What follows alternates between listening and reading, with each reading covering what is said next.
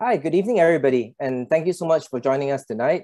Uh, welcome to another edition of Hand in Focus, and the team for tonight is thumb arthritis. My name is Harvey Chim, I'm from the University of Florida, and I'll be co-moderating this session with Kyle Eberlin from MGH Harvard Medical School.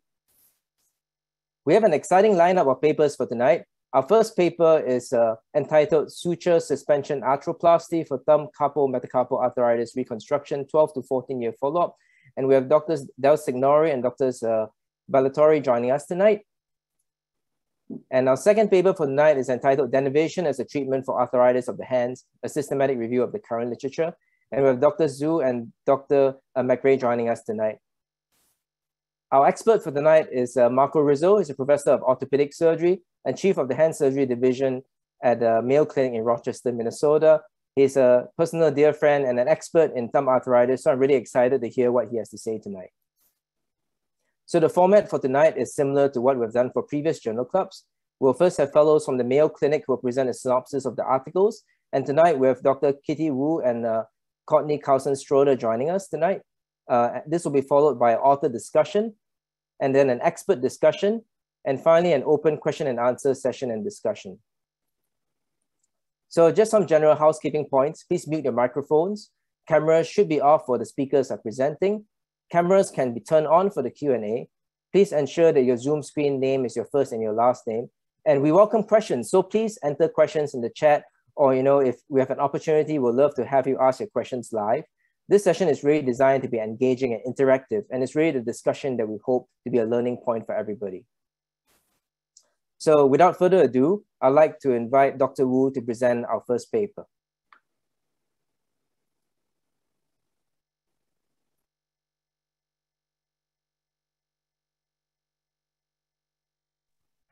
Can everyone hear me and see my slides?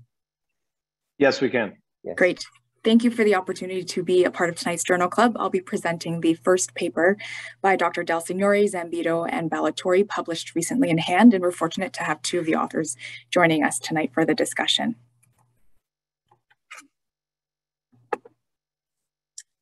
Sorry, I'm just trying to advance my slides. The suture suspension arthroplasty technique was first described by Drs. Del Signori and Accardi in 2009 and this created an intra-articular suture suspension sling anchored between the FCR and the APL tendons. This stabilized the thumb metacarpal, corrected any subluxation, and also helped to maintain the arthroplasty space following trapeziectomy. This was usually performed under regional anesthesia with an operative time of 20 to 25 minutes. As a brief overview of this technique, this is performed through a volar of Wagner incision. The thenar muscles are reflected, the capsule is incised, and a trapeziectomy performed. The suture sling is then created using an O-gauge braided non-absorbable polyester suture. This is placed as distally as possible. It's first passed forehand, as seen in the top photo, through the insertion of APL and the dorsal capsule, and then backhanded through the insertion point of the FCR tendon, also grasping some of the deep joint capsule and FCR subsheath, and then passed back through the APL tendon and dorsal capsule. This is performed a second time, similar to that illustration on the previous slide, to create a four strand suture hammock that cradles the base of the thumb metacarpal. And then with longitudinal and downward ulnarly directed pressure on the dorsal base of the thumb metacarpal, the suture is tied down over the APL insertion. The dorsal capsule and thenar muscles are repaired to their origin.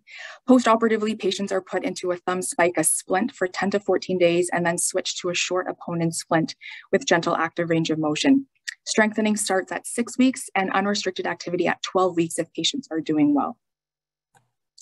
The current study reported on long-term 12 to 14 year outcomes of this technique from the patients who had undergone a suture arthroplasty procedure between 2006 and 2007, 85 were able to return for long-term follow-up at a mean of 12.6 years post-operatively. For each patient, the authors collected baseline demographic information, grip, key, and tip pinch strength, and quick dash scores. Radiographic subsidence was assessed by comparing preoperative and postoperative standardized PA films, measuring the distance between the thumb metacarpal base and the distal pole of the scaphoid. In terms of the results, the average age at the time of surgery was almost 62 years and 82% were women. This included 85 patients, five of which had staged bilateral surgery. There was significant improvement in grip strength with a mean increase of three kilograms, increase in key pinch of 0.9 kilograms, and also a tip pinch of 0.7 kilograms. The average radiographic subsidence comparing pre and post operative was a 30% loss of height. And at final follow up, quick dash scores revealed good to excellent pain relief with a mean score of 6.6. There was one revision performed for a patient with symptomatic 80% subsidence and MP hyperextension. This patient was revised with a bone to bone suture anchor suspension technique and an MP joint fusion. There were three patients with FCR ruptures occurring at the four to six week postoperative mark, presenting with localized tenderness and bruising that was mostly self limiting and not really requiring any further treatment. There have been some minor modifications of this technique over the years, and that have included prophylactic tenotomy of the FCR at the wrist flexion crease if there's greater than 50% narrowing of the tendon from attritional damage. And looking at table one, this provides a qualitative comparison of this technique with four other representative studies, including one from Dr. Weiss's group, who performed a modified suture suspension arthroplasty through a dorsal incision. They presented their follow-up at 5.4 years with fairly comparable results as well. Overall, the suture suspension arthroplasty provides a single incision technique without the need for sacrificing any donor tendons. It avoids the need for drill holes or K-wire fixation and also provides a shorter operative time. The long-term results presented here show significant improvements in grip and pinch strength, maintenance of the arthroplasty space, and excellent patient-reported outcomes in the Quick Dash questionnaire. Thank you, and I look forward to the author's comments. Great. Uh, thank you so much for the excellent presentation, Kitty. I'd like to next invite the authors, Dr. Del Signore and Dr. Ballatori, to give their take on this paper.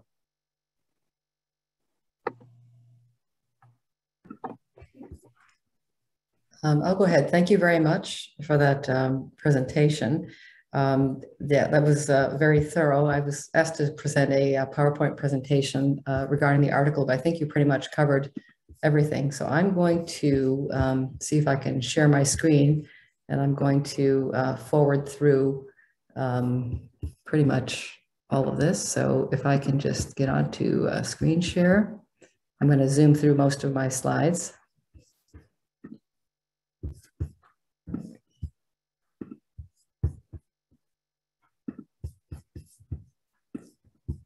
Is my screen being shared properly now? Uh, no, we, we cannot see it yet. Can you see that? Um, not at the moment. Okay, sorry. Let me just do this and show. Sorry about that. I'm clicking on share screen again. There it is. Share. And how about now? Yep, we see it. Thank okay, you. good enough. Thank you. I'm just going to get this out of the way hand surgery is easier than sharing a screen. So um, thank you very much. I'm going to just hit on a few points here. Um, as we know, I'll know that the thumb CMC arthritis is uh, very, very prevalent. And um, currently, the CMC arthritis does uh, represent the most commonly reconstructed joint in the upper extremity. And as we all know, there are multiple surgical options that exist with no technique showing clear advantage over another. Um, currently, trapeziectomy with or without stabilization and or interposition of autologous material is the most common form of treatment. Many surgeons, however, have been migrating towards a simpler, lower morbidity and reliable solution. Um, as was mentioned, the suture suspension arthroplasty was actually developed in, in 06, published in 09. Seven-year follow-up data was uh, published in 2015, and the 12 to 14 year follow up 2021. Uh, but uh, again, I, I, prefer the volar approach, the Wagner incision, and creation of a zero gauge four strand intraarticular suspension sling uh, placed distally into the APL and FCR insertions with additional uh, locking sutures in the FCR and deep subsheath. Uh, average surgical times approximately 25, uh, 22 minutes. I'm going to go right through this because this was just shown, but there's a Wagner incision with complete trapeziectomy longitudinal traction being as the suture is inserted through the APL and dorsal capsule, and then backhanded through the FCR and deep subsheath with additional deep locking sutures. This is passed twice through the space to create a hammock suspension sling. Close up of the four strand sling in place. And as was mentioned, uh, dorsal pressure was applied to approximate base of thumb towards base of index. The capsule is repaired with a running interlocking 3 bond suture, and the thenars are brought back to their origin to completely cover the suture knot. The postoperative protocol for this technique is 14 days immobilization in a bulky bandage with a thumb spica plaster splint, which is removed at 14 days, at which time patients are placed into a short prefabricated CMC splint and start active range of motion. The splint is weaned and strengthening is started at six weeks, and I discontinue the splint at eight weeks. Patients are released to resume full use at three months postoperatively, but are reassured that it can take six months to a year with any type of reconstructive surgery for the patients to reach a plateau. Um, I'm going to go right through here because this was all mentioned in the review of the paper, but uh, in a nutshell, this was a case series of one surgeon's experience uh, from the beginning of 2006 to the end of 2007, during which time 153 procedures were performed and data were analyzed in terms of age, sex, preoperative, grip and pinch strength, subsidence, and postoperative patient-reported outcome using the DASH questionnaire. Um, as you know, the re results were that we had a 59% recall, 82% female, five bilateral procedures, and there was one revision surgery as mentioned, along with three FCR ruptures, all of which occurred at approximately four to six weeks post-op after a sudden inadvertent and accidental stress injury. All of these resolved without any need for further treatment. As you know, the results show 34% subsidence, which is comparable to other reports in the literature, and an average quick dash of 6.6%, along with statistically significant improvement in grip and pin strength. These are just some x-rays showing preoperatively parallelism of the thumb and index metacarpal with progressive subluxation and postoperatively following the procedure with correction of subluxation deformity and reasonable maintenance of joint arthroplasty height. These are radiographs of patients at 13 and another patient at 14 years post-op, again showing maintenance of joint arthroplasty height and restoration of first web space angle. These are some clinical photos of patients at six weeks post-op, at which time strengthening is commenced, and at 13 years post-op, showing alignment and range of motion. I believe that there are um, benefits to this procedure that uh, assist both the patient as well as the surgeon and the facility, and that this is a lower morbidity procedure in that it involves only a single incision with no tendon sacrifice, no drill hole formation, no K-wire issues. And for most, but certainly not all patients, less stiffness due to more immediate stabilization, earlier range of motion, and unrestricted use by three months postoperatively. The surgeon in the facility benefits from a lesser invasive surgery in that this procedure does involve a shorter operative time on average 22 minutes and it is cost effective in that there are no K-wires, anchors, or implants required. This has been shown to be a simple, reproducible technique adopted by uh, many of my colleagues and also compared to other methods with comparable outcome. In terms of the downside of this procedure, I believe that there are several, as there are with all procedures. This does require a precise suture technique that I do recommend that the suture be placed as distally as possible into the APL insertion as well as the FCR insertion in deep subsheath with additional locking sutures for additional anchorage. The caveat is that too far proximal placement of this sling may cause loss of arthroplasty space, bowstringing or destabilization of the FCR, or even potential FCR rupture. This procedure has to rely on soft tissue integrity, which may not always be present. And I don't believe that this procedure is the best choice for revisions or patients with severe laxity, marked collapse deformity, or heavy functional demands. For those patients, I still would recommend a suture suspension arthroplasty, but consider it with a suture anchor with some type of bone-to-bone -bone suspension.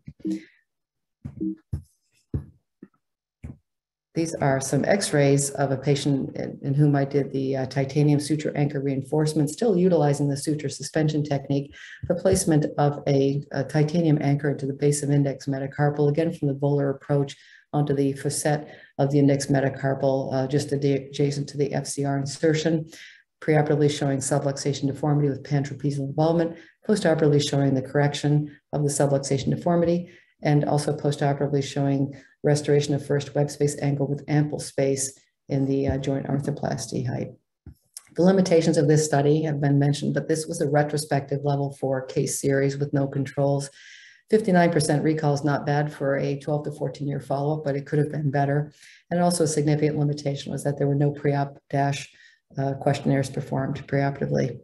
in summary, I believe that this procedure is yet another procedure that can be considered, uh, considered in the armamentarium of the hand surgeon to treat thumb CMC arthritis, for which there are a multitude of different choices, all of which have uh, very good outcomes.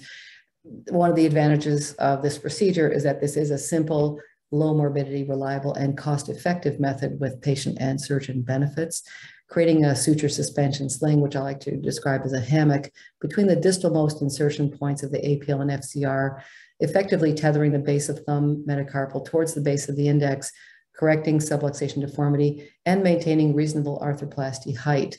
Long-term results with this procedure reveals similar outcomes to other methods of trapeziectomy with or without ligament reconstruction. Thank you for the opportunity to discuss this paper further. Hey, thank you so much. That was uh, excellent. And uh, next, I'd like to invite our expert, Dr. Rizzo, to give us his take uh, on this paper tonight.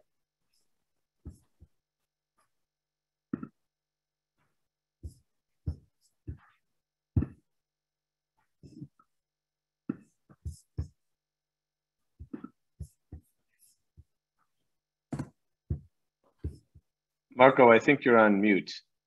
Oh yeah. Sorry. Uh, um, uh, thank Marco, you, Dr. We, we, don't we don't see your slides as well. Yeah, I, I haven't shared yet, um, okay. but I'm happy to share. But I was going to say, Harvey, one thing that we might could do is um, maybe I had a series of questions, and I, I, I, see we're down to about 13 minutes before we have to switch to the other topic. Um, I'm happy to um, I'm happy to go through my talk real quick or just initiate questions? Uh, do you have a preference or? I, I, don't have a preference. Whatever you think would be um, best for the discussion. Well, I'll briefly say uh, that I'm one of the dinosaurs and having learned so much from our friends at at University of Rochester, I would love to ask Dr. Del Signore uh, why, um, uh, what made her, what prompted you to move away from an LRTI type procedure when, when you did this?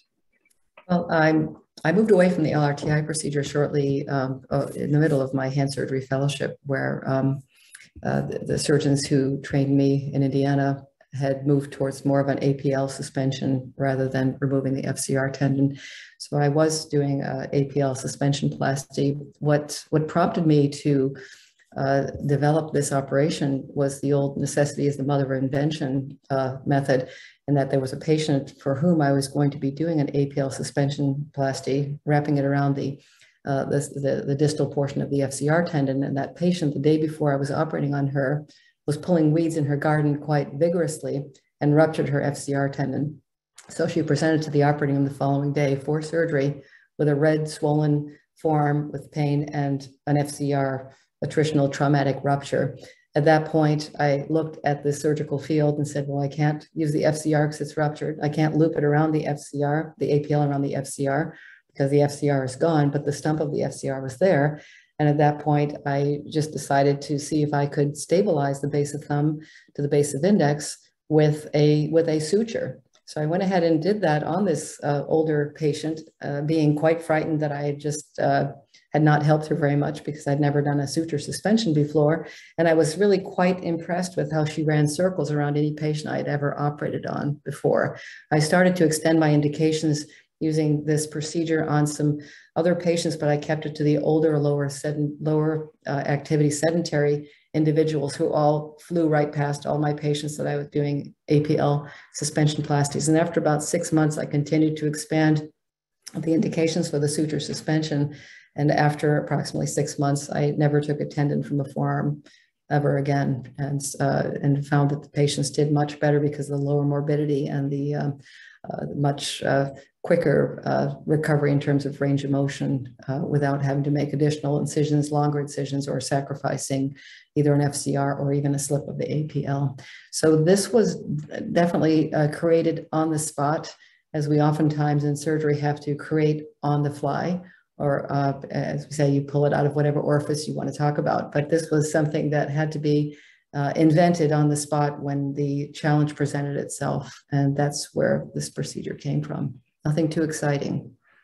It's fantastic. Um, you know, I, I do uh, an LRTI procedure for, for mine, and I'm going to go through this briefly, just reviewing the anatomy. Obviously, understanding the, the ligaments of the thumb are very important stabilizers, and as they as they become attritionally incompetent, it invites shearing and the, the arthritis, and also the fact that there's a magnification of loading at the base of the thumb. It's a perfect storm for development of the arthritis. Um, again, as I as I mentioned before, I prefer an LRTI. I do the suture suspension a little bit like uh, Dr. Del Signore discussed uh, uh, for revision cases, and I tend to um, prefer the bone-to-bone suspension, such as the tightrope. Um, this is an example of an LRTI procedure I would do now. Um, uh, the just to go real quickly, the trapeziectomy, and I tend to harvest the entire FCR. I pull it through and uh, I do create a drill hole in the bone and uh, pull it through the bone, uh, suture it to the capsule, and then fold it into an anchovy and pack it into the space. And my results have been good, I would say. I, I do want, I would do, uh, this does lend me to another discussion. Um, as I, I tell folks, it's a pretty good pain relieving procedure, but it's not as predictable in improving strength. And I, I, I wonder, uh, a lot of studies suggest once you take out the trapezium that you don't get as, get as predictably uh, strength improvement. How do you advise your patients, Dr. DelSignore? Do, do, you, do you confidently say I, you're going to get stronger, or is it based on what their pre-op strength is more? Um, I, I, believe that um, patients are so happy that their strength is improved from what it was preoperatively that I have not had too many patients say that there are things they there are things they can't do because they weren't strong enough. Uh, I, I, think that's the relative improvement in strength is what we see when you look at the preoperative um, grip and pinch strength and see the significant improvement. Um, and I do believe that with all forms of CMC reconstruction, the most important parameter that really defines your success is how happy your patient is as, as we get older, particularly we look at our patients in our 60s, 70s, and 80s, they start to lose strength just because of age and uh, muscle atrophy and arthritis in other parts of their hands. So it's not at all uncommon that a patient with or without CMC surgery starts to lose strength as they get a bit older. But the improvement of their strength because they don't have that antalgic weakness in their hand because you've taken away their pain is usually something that patients are, are really quite happy, regardless of what technique is, is utilized. Okay. The, um, the one thing um, also that I, I, appreciated from your presentation was the ability to bring the thumb back into more radial abduction. Um, do you find that your indications for treating MCP preoperative hyperextension become less and less as a result of this technique? I have, uh, Marco, um, that's a good point because the, the, the, cookie cutter approach for mm-hmm. X degrees of hyperextension requires the capsulodesis and X plus 20, 60 degrees of hyperextension requires a fusion. I always would treat the uh, uh, metacarpophalangeal joint if the, uh, if the patient is symptomatic. And an asymptomatic hyperextensible thumb, when you bring the base of thumb towards the base of index, unless someone has a lot of uh, collapse weakness of the thumb. I, I tend to shy away to being very conservative in terms of doing anything to the MP joint because honestly, when you bring the base of thumb back towards base of index, um, I don't think you have to just routinely do a capsulodesis. And in terms of an MP joint fusion, uh, typically I would prefer to, to uh, uh, not do that unless the patient actually has symptomatic MP joint arthritis. Perfect. And that's um, something I know you mentioned the, uh, the, the suture button procedure. You mentioned the word tightrope. One of my concerns about that type of methodology is it's more of a syndesmosis type of uh, device. That instead of bringing base of thumb and index together, you can actually recreate some of the parallelism. So it's difficult to get the, the bases of both of the thumb and index to approximate with a suture that's placed a bit further distally from the uh, axis of the joint. So this is a case of a failed uh, and the tightrope. So on this image here, more of a syndesmotic kind of, mm -hmm. not as much of that abduction that you would get with uh, the suture suspension, right? I, I, agree, and that's I, I believe that the uh, uh, the, the dual suture button uh, technique is really a, a great direction forward, uh, just teaching us that it is not uh, always necessary to utilize a tendon for a suture sling to hold the, the, the, thumb together because if you can hold it together with a, with a suture placed in the uh, correct alignment to reconstruct the first web space, and to bring base of thumb towards base of index with an intra-articular construct, I think that that's getting us more in the right direction of some type of non-tendon uh, uh, suture suspension that gives immediate stabilization. One last question. Um, in Weilby's initial, this is sort of a Weilby with a suture to me as I think about this. Um, in Weilby's initial paper, of 100 patients, uh, he had a fairly substantial incidence of de Quervain's um, post-operatively. Mm-hmm. Um, have you seen that in your experience? With this procedure, the uh, the suture that goes through the APL is literally at the insertion. It's a bone scraping as close as you possibly can, suture being passed at the APL insertion right where it inserts on the base of the thumb. I believe if you have your suspension or whether you're taking a, a slip of the APL um, a little bit too far proximally, then yes, you can hyperabduct the thumb and cause some tension in the first dorsal compartment. But with this particular technique, the suture really needs to be as absolutely distally as possible so you don't get that hyperextension deformity or traction on the APL tendon. So honestly, I've, I've not had that be a problem in my patients, but I'm pretty fastidious in terms of recommending where the sutures go. I lied. One last one last question. Um, so I see subsidence. Everyone sees subsidence. Your your incidence of subsidence was impressively low. I, does that affect outcome subsidence in your with this technique? I mean, are they clinically just as good, or or do you My, do you, if you see subsidence? My subsidence ranged from zero to 90%. The average was 34%. And so with, with many surgical procedures, whether it's with the, um, uh, the suture button or with the suture suspension arthroplasty that my colleague Peter Weiss described this with a, with a dorsal approach, uh, right about 30 to 35% seems to be the most common degree of subsidence so I do think that that they all do tend to subside um, between anywhere from zero to 90%. Your question as to whether or not subsidence affects outcome, there have been uh, several papers written, I think uh, Andy Weiland is one of them that comes to mind that uh, uh he described whether or not subsidence had any role in the patient outcome, meaning the patient comfort and their um, and their happiness with the procedure. And th there have been a lot of papers that have suggested that subsidence doesn't matter. Um, I do think that subsidence is a problem if the thumb metacarpal is sitting on the scaphoid. That could be a problem because you'll get painful impingement.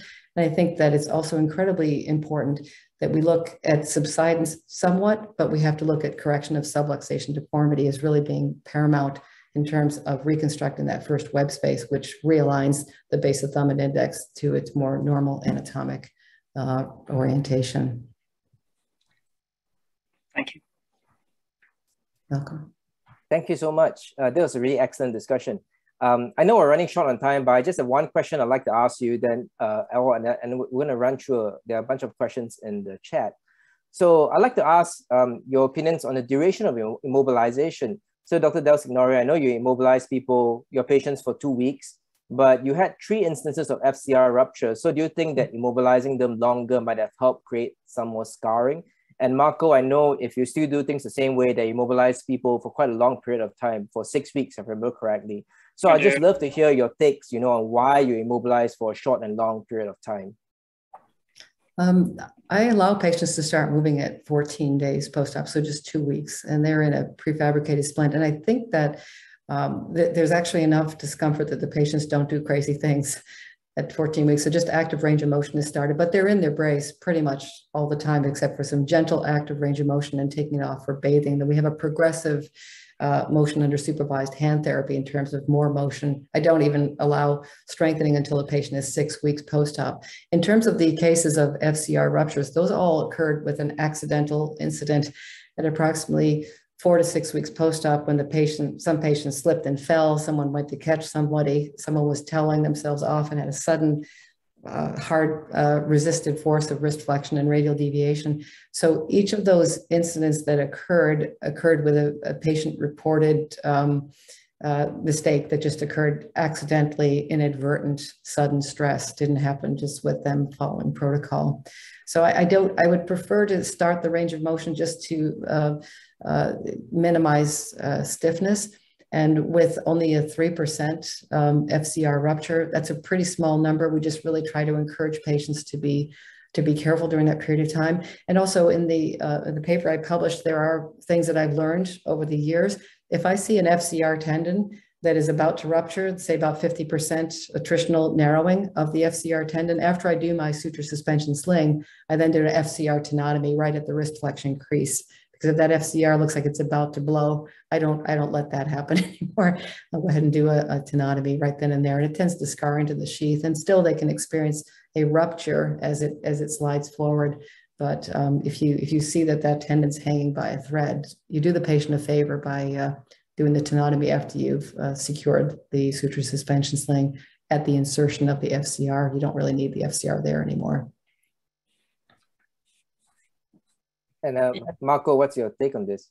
Yeah, I, I don't think, uh, I try to encourage patients to give this time uh, for the recovery. And it's hard nowadays because everything's so much sexier and everyone's trying to get people moving right away and show how quickly they can get someone doing whatever. But I, I have seen cases uh, that have been referred to me. And it's interesting. I often tell our residents and fellows there's three things that are going to shape your practice and what you do. One is what how you're trained. Two is what the literature tells you, and three is what your own personal experience is. And you can't you can't ignore the, your own what comes in the door and the patients. Much like uh, Dr. Del Signore talked about her case that sort of inspired her to consider this. Um, and I have a procedure that works. It's slow. It's it's uh, it's not uh, a quickie recovery um, but it works in my hands. And um, it's hard to it's hard for me sometimes to think about changing too much although i have loosened a little bit on some of the the immobilization period you know. I'm more flexible with immobilizing or graduating to a removable splint at four weeks rather than six weeks. Um, I, I think if you're too hasty, sometimes you invite all kinds of other problems. I, I personally don't think that an FCR rupture is a big deal. Uh, you know, I mean, if that's the worst that happens to the patient, I think that they, though their pain will go away. Most, you know, most people after they rupture the FCR is, uh, is um, their pain goes away after the rupture. So, um, but I think it's, uh, I think they need time to sort of get over the surgery, get the healing process started.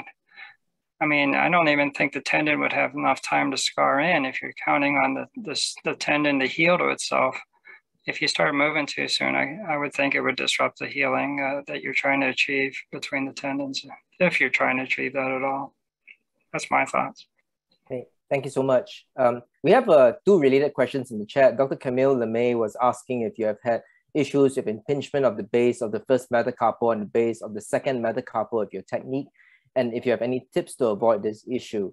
And Dr. David Well was asking how to set the tension and if you use any locking sutures. So I guess these questions are kind of related because obviously with any technique, if you, you tighten it too much, you may have problems such as you cannot put the thumb flat on the table, which can occur with like any other suspension plasty. So I was wondering, what are your tips to set the tension just right with your suture?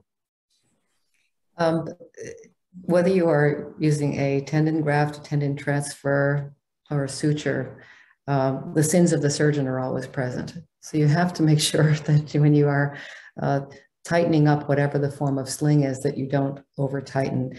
Uh, many people have talked about when you are actually bringing the sling together, whether you're using uh, uh a uh, suture suspension with the dual buttons, whether you're using a double suture anchor or whether you're using a suture suspension.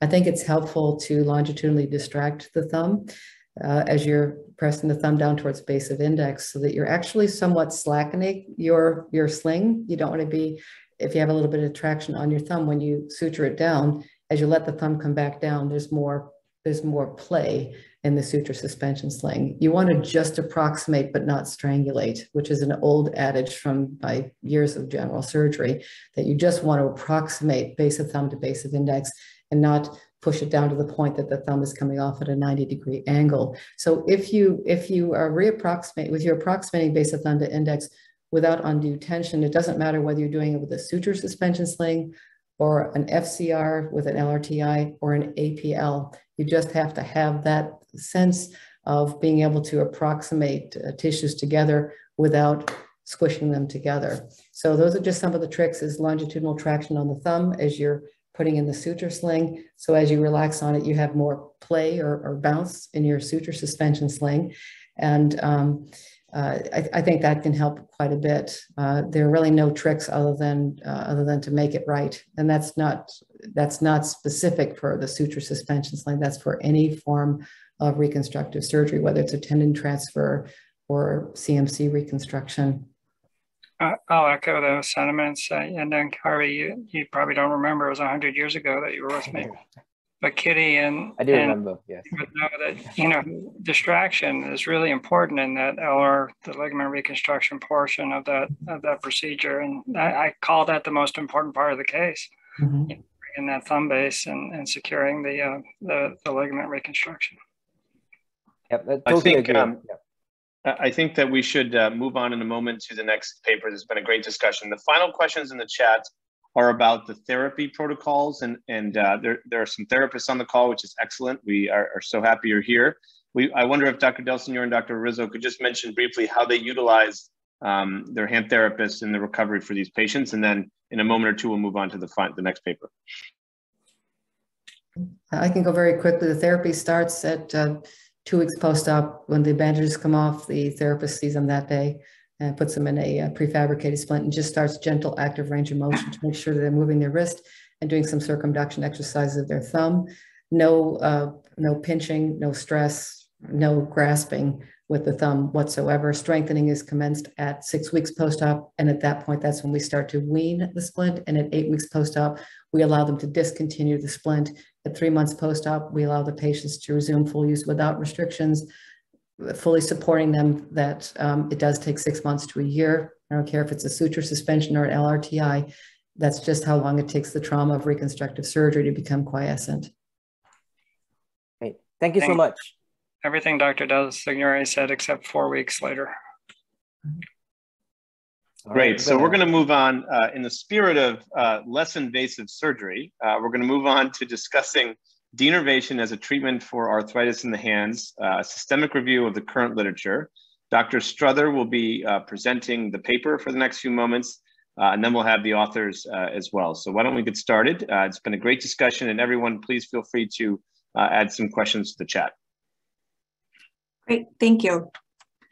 Um, so I'll move forward here. Um, and thank you for letting me present uh, this article for discussion as a, a, systematic review of the current literature uh, looking at denervation for treatment of arthritis in the hands. Uh, Dr. Zhu and McRae um, and colleagues, and appreciate them here uh, being with first discussions. Um, Courtney, so, just to, to jump in, you're, we're, we're looking at your uh, presenter mode here. oh, if you want to. Let's see here.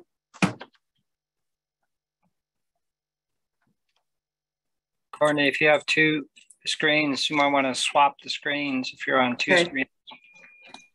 That's, is this improved? Yeah, I, I've had this class before. Thank you.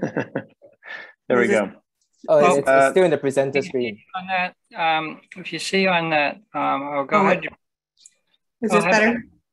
Yes. Yes, okay. that's perfect. Thank you. Sorry about that. Um, so very briefly, there's been an increase in um, some of the interest in denervation procedures in the small joints of the hands, um, since we know that there's been some success with uh, denervation of the wrist. Um, so there's multiple denervation techniques that do exist, uh, denervation of small joints of the hand, but there's no uh, synthesized data on some of these outcomes.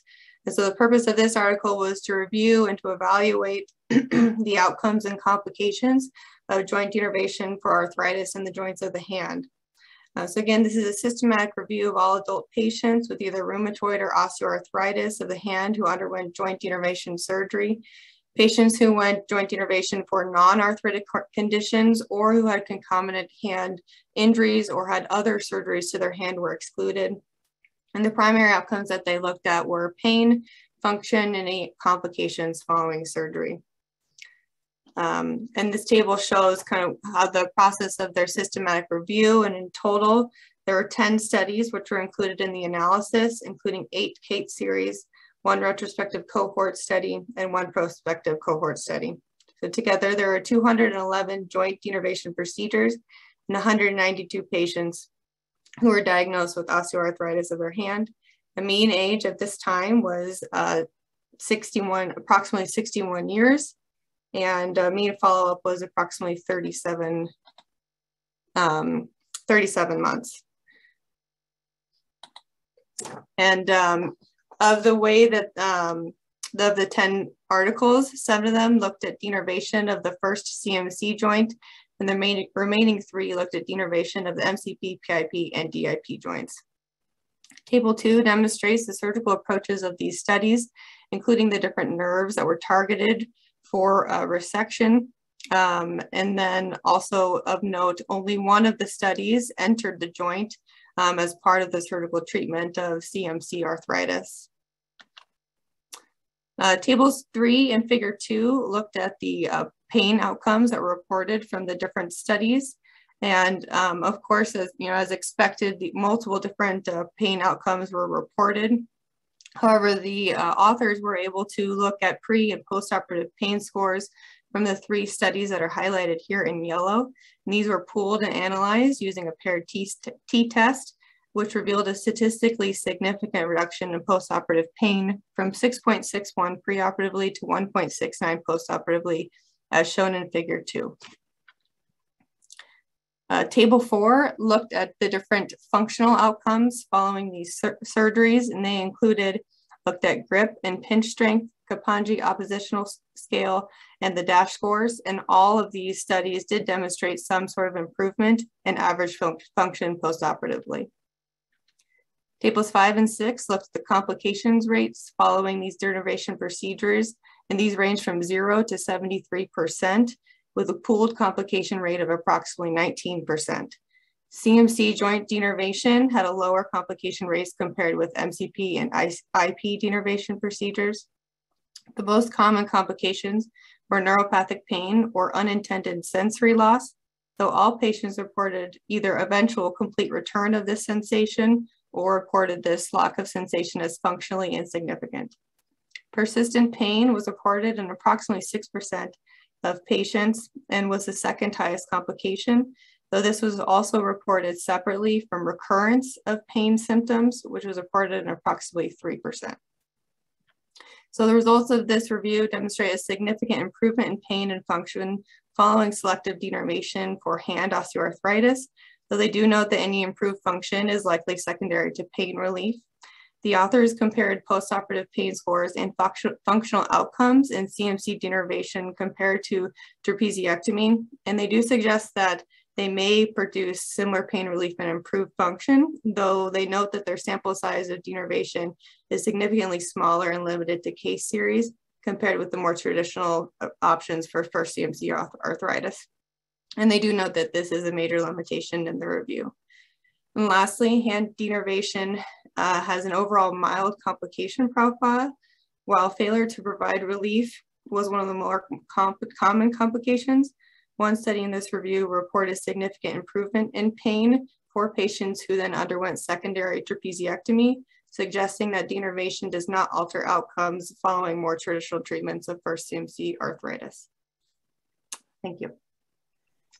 Thank you very much, Dr. Strother. I would next uh, like to invite Dr. Zhu and Dr. McRae, uh, the authors of the study, uh, to tell us a bit more about it. Hey, yes. So um, here, let me try and share my screen. Um, I think Dr. Strother summarized it very well. So some of the slides are actually quite similar. Um, so I'll just go through it pretty quickly. I'm Sarah. I'm one of the uh, plastic surgery residents from McMaster. Thank you for inviting us to your journal club. It's been very lovely to be here this evening. So yeah, so the really quick background, really how this came to be was because denervation was coming up as this kind of relatively new alternative as a surgical intervention for the small joint arthritis. And the real proposed benefits that were being stated was that it was relatively non-invasive, a pretty straightforward procedure to complete that preserved the native anatomy um, with a much shorter rehabilitation time compared to the more traditional procedures like trapeziectomies or arthrodesis and arthroplasties and kind of reinvigorated by the fact that it's shown promising results in the wrist population. So we wanted to see if this was something that would be effective in hand joints for arthritis, and if so, how people were doing it, if it was safe to be done. And so, um, as mentioned already, we did a systematic review, mostly because in the preliminary search, we found that there was a lot of independent studies with authors describing their experience, but it was generally pretty um, poorly described in the literature. So we felt that this was the most appropriate way to synthesize the information. So we did come up with 10 studies following the PRISMA guidelines. And as you'll note there in the table in the MINORS score category, the papers that we included didn't score particularly high. Um, but unfortunately, these 10 studies represented the majority of studies that were available discussing this topic in a clinical setting. And another thing to note is that the surgical indication for denervation within these studies broadly were very similar. So they were all offered to people with osteoarthritis who were referred to a surgical center because they failed um, conservative measures of pain and they hadn't had any surgery in that joint, that affected joint previously. Between the studies, there were some variations. So some studies would include all Eaton classifications, but there was one study that would only do it on Eaton class two and three.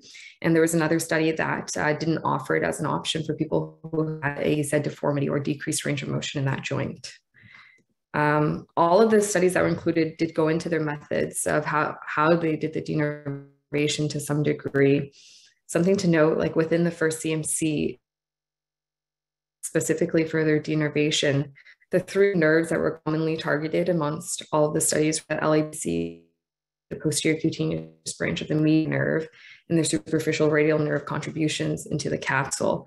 But there were three studies, and I believe that Lorea was the first study of them that described also, unfortunately, within the within our study at least, we weren't really able to comment on whether going after that articular branch of the recurrent motor nerve changed anything about the efficacy of the procedure or the complication profile. Uh, so as previously mentioned, the data for both pain and function, which is our main ways of uh, looking at the efficacy of denervation, were pretty heterogeneous. So we're pretty limited in the way that we were able to analyze the data. For what it's worth, each of the independent studies for function as well did find improvement. So I'll just blow through that pretty quickly because I think there was a pretty good summary on that already. But for the complications, so in the studies that we included, the follow-up ranged from five months up to five years. Within the 10 studies that we had and within the five years that they followed maximum patients, there were no reports of any significantly adverse events. So there was no CRPS, there was no reports of Charcot's joint, and there's no reports of anything like loss of proprioception. And the most common one of neuropathic pain or sensory loss, the papers that reported this actually that went on to say that it ended up becoming almost insignificant because the patients said that it either spontaneously recovered or they found it to be functionally insignificant. And um, with regard to treatment failure, as was mentioned, some of these patients did get offered then secondarily a more traditional procedure and they did well with that. Um, something else that was interesting to note is that of the 11 that had treatment failure, nine of them came from one study uh, by Salibi. And uh, could be for a number of reasons. Um, one thing that was interesting that I noted in reviewing the articles, it was that uh, the methods that they, they described for denervating the first CMC was a little bit different than the other ones. Um, rather than identifying each of the individual branches into the joint capsule, they kind of just cauterized the soft tissue around it as a method of denervation. So hard to say if that uh, contributed at all um, to their findings. But generally the conclusion, it seems that denervation is a pretty safe procedure with a low complication profile. Unfortunately, a significant limitation of the study would be the sample size and also the level of evidence of the studies that were included in this review. So we aren't able to make any real strong statements about how effective it is in terms of relieving pain or improving function, but it certainly seems promising as an alternative. And uh, could potentially be quite useful for a population of patients who maybe are looking for pain relief in a uh, slightly less invasive way. But um, I'm interested to kind of open the discussion up and see what everyone thinks about it. Excellent. Uh, thank you very much for your presentation. I don't know if Dr. McRae wants to make any comments or just join in the discussion. Um, if yeah, not, I, I will. Please yeah, go I, ahead. I, certainly, just join the discussion. I think I think uh, uh, with any systematic review, you really, you know, any kind of results that come from it are really a result of what was present in the primary studies, right? So we're obviously very uh, limited in what kind of conclusions you can make from from this systematic review for sure. Um, but you know, I guess it's kind of uh, synthesizing what what is available now. After this paper came out, about eight months later, a very similar paper came out in the Journal of Hand Surgery with really very similar conclusions. So um, that's just interesting. I think it's kind of a timely topic. Uh, it seems that I guess the hand surgery community is quite interested in it. It's just nice to know uh, where we're at right now. Yeah, I mean, certainly there's, a, I think, a great amount of interest in it. I would love to invite Dr. Rizzo as our expert to uh, make some comments about this. I think one fundamental question that I have about wrist denervation is how do we even define what is, uh, sorry, about a CMC denervation is how do we even define it? You know, what nerves have to be denervated to really define to define the procedure? And I'm not even certain we have an answer to that question. So, Dr. Rizzo, I'll turn it over to you. Well, thanks, Dr. Eberlin. Um, you know, um, I have uh, also a talk, but I, I, I don't do this procedure. So I, and my talk was focused on early arthritis, people with STT, joint sparing, and what I do for those. And I'm happy to share that talk, but I'm also happy to discuss my experience with wrist denervation, which is quite extensive, and how it applies to thumb denervation in the sense of my results with wrist denervation have never been quite as good as the literature. I think whenever someone publishes on on their experience, there's this, and I, I'm not saying this in derogatory way. I think there's just an enthusiasm or being in the study, some component of how the study is created and how patients are, re, are responded to creates like a an inflation of the actual experience to me. And I, I, I know it sounds derogatory, but it, I, I think it's true. Uh, eh, or I'm just a bad salesman. Like, because I think our enthusiasm as, as surgeons to a particular procedure, particularly if it's a new procedure, is contagious to the patient. And if you don't, and it's not, it's not sinister enthusiasm, it's, it's honest enthusiasm for something that's new and something that is, uh, you're hoping will will work and i think that's contagious to the patient but if you're not a good salesman like me you tend to sort of sometimes sort of propagate all the bad that can come from the procedure and you're promoting that and that plants a seed of doubt in the patient. And what i'm getting to is that there's a placebo effect to these procedures in my opinion. And um, you know there's been some good studies new england journal of medicine studies looking at sham procedures in the knee. Uh, partial meniscectomies versus make an incision and stop. And what they find is uh, in degenerative arthritis too, scoping for degenerative arthritis or sham procedures. Um, and I think there's a component of a, of a quote unquote sham that occurs with these denervation procedures, if I could be frank. Now, I don't care. I, if it works, it works. If the patient's better, great. But I think what we're trying to do is we're trying to uh, study something that's really complicated, you know, and, and we're trying to come up with a solution that uh, is going to be predictable. And largely, I think we as surgeons come to the table with a lot of sway in these cases. And um, more than I, I, I, I, I want to um, have, in my own opinion. I'd rather have more science than sway. Um, and um, Sami Tuffaha was one of our former fellows. He's one of the authors of one of the studies that you described, Sarah, or you included in the study. Uh, and, um, and his results were like pretty darn good, like 80, 90%, you know, pain relief. And um, I, I think that's achievable, but I think we have to bring a lot of enthusiasm to the table with these with these cases. Um, I'm at a loss to explain the, the loss of sensation. It's obviously a very disappointing outcome. in those cases. And um, but my bigger concern would be the inability to uh, to um, achieve uh, desired results. Despite my lack, I'm going to go back to the risk. Despite my lack of success to wrist, because I tell patients it's a 50-50 with the wrist, I still do it a lot. So it doesn't mean we shouldn't be doing it. It just it just means that we need to. I think I don't know. I don't know that we need to give the denervation as much credit as the other uh, nuance variables. I gave this uh, presentation at uh, the Jupiter Forum in, at, at, Boston on the wrist, and and I had a lovely discussion with uh, um, David Ring, who is the king of discussion of psychological pain issues, and we had a real interesting talk about the reality of um, placebo and the power of placebo. And I wonder if in part, if we're not doing a, a sham surgery that happens to work.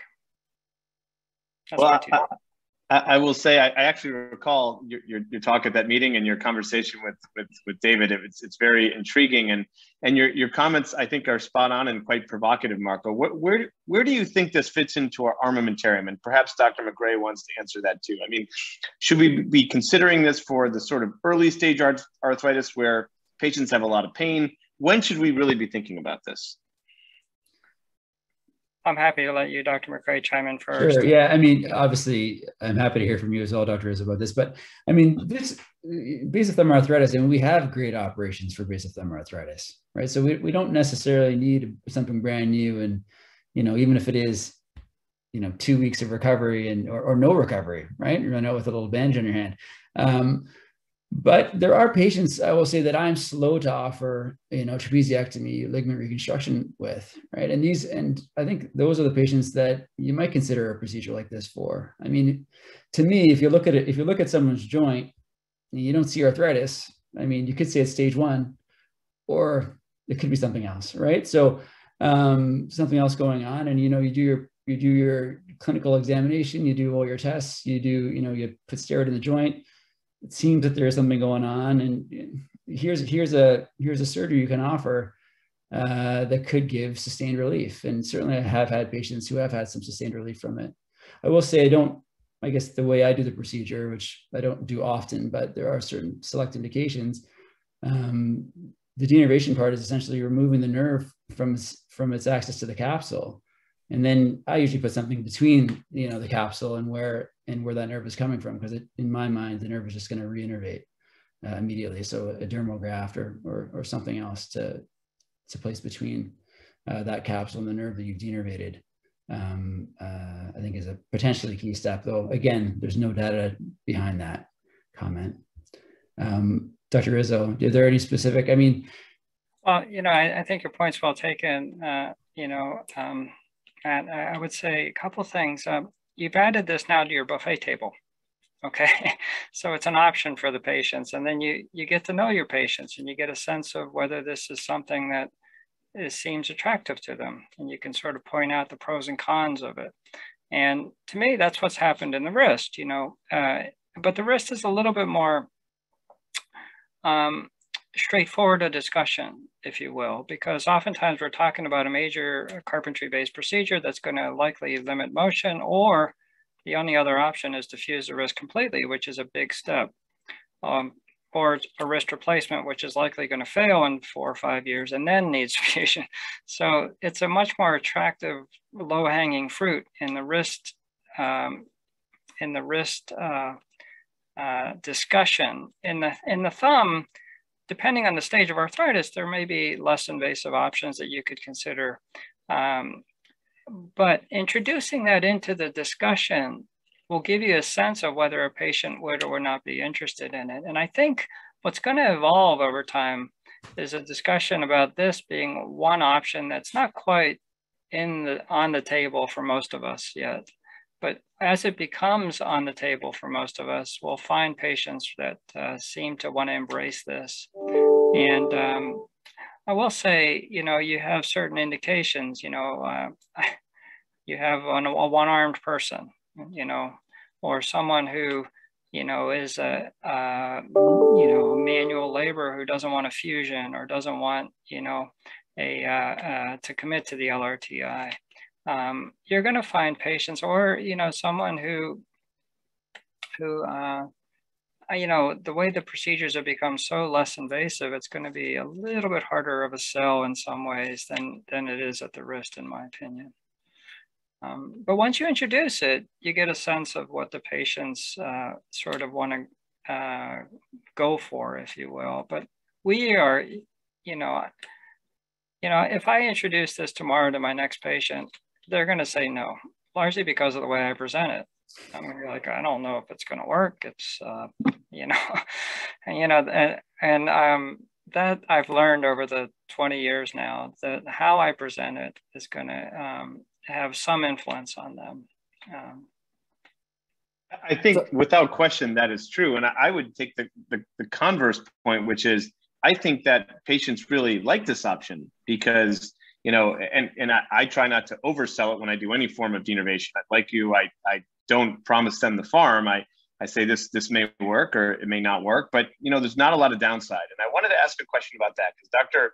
Marchessault had a good question in the chat or a good comment about um, that there were described failures in young patients with high demands. And I sort of wonder if we're taking these sensory nerves and we're intentionally transecting them, you know, is some of our residual pain or or even uh, persistent pain, is that due to sensory nerve injuries? And if so, is, is that something people have seen? Or, you know, um, you mentioned, Dr. McRae, that you like to put a dermal graft or something. So what should we do to try to obviate that complication? Well, unfortunately, I haven't done enough to tell you. but uh, um, yeah, I mean, yeah, in- interesting question. I think I think data will be forthcoming as people are performing this procedure and, and following the results with with uh, you know, we're properly measuring the results, as Dr. Del Signore has done for the past 12 so, so, so Dr. Marchessault also mentioned that he would do this denervation procedure for patients with depression or anxiety, as well as opioid dependence and low demand hands. So do you think that will be one of your indications for the procedure as well? Yeah, I would. I would consider it an indication. Yeah. I also would say, you know, in that young population group, there's so many variables that that could contribute. The fact that they're more active could be a pain generator for them, and why they didn't do as well as the retiree who who you know uh, doesn't ask as much of their thumb. So it, it, can get pretty complicated in that regard, especially when you have all these layers. Um, uh, I guess all, we'll all individually come up with our own sort of set of indications and I applaud people who are pushing the envelope, and and I look forward to seeing what we learn. Um, we do need better studies, though. I completely agree. Um, in the interest of time, we're a couple minutes past. I'd like to ask if there are any other uh, final questions for our excellent panelists. We'd like to thank uh, all the authors of the papers. We'd like to thank Dr. Rizzo for his expertise and experience. Uh, I think Dr. Chim has a few final words, and uh, we really appreciate everyone's time this evening, and we look forward to having you at a future uh, Hand in Focus webinar. And if you have thoughts about how to make this better or ideas, we would love to hear them. Uh, so go ahead, Harvey. Yeah, thank you so much, Kyle. And, you know, thank you so much to all the authors and the fellows as well as, as Dr. Rizzo. This was really fantastic. And thank you so much, everybody, for asking your questions. So these are the usual slides I have at the end of the, of the journal club. Please follow AHS on social media. Please consider applying for AHS membership. And uh, we have a AHS social media account. And please watch out for our next journal club. We do this every three months. And I, I think it's been really fantastic. I've learned so much from these journal clubs and we've a great panel. So please look out for our next journal club and uh, join us. And Harvey, thank you so much, everybody. Harvey, if you could just go back to the social media part I, just for a second, I just want to reinforce that we we're really trying to uh, get folks engaged on the Hand Association social media account. We have uh, weekly questions that are now coming out uh, on Instagram. And if you if you're not following or if you're living under a rock in 2022 and don't have social media, uh, please please get it and, uh, and and join the Hand Association. So thanks everyone for thinking about it. Okay. Thanks, guys. I really appreciate the opportunity and honor and privilege to be a part of this. It was a great, uh, fun, educational, and uh, awesome experience. Great. Thank you so much for your insight, and thank you so much, everybody. Good night. Have everyone. a good evening, everyone. Good night, everybody.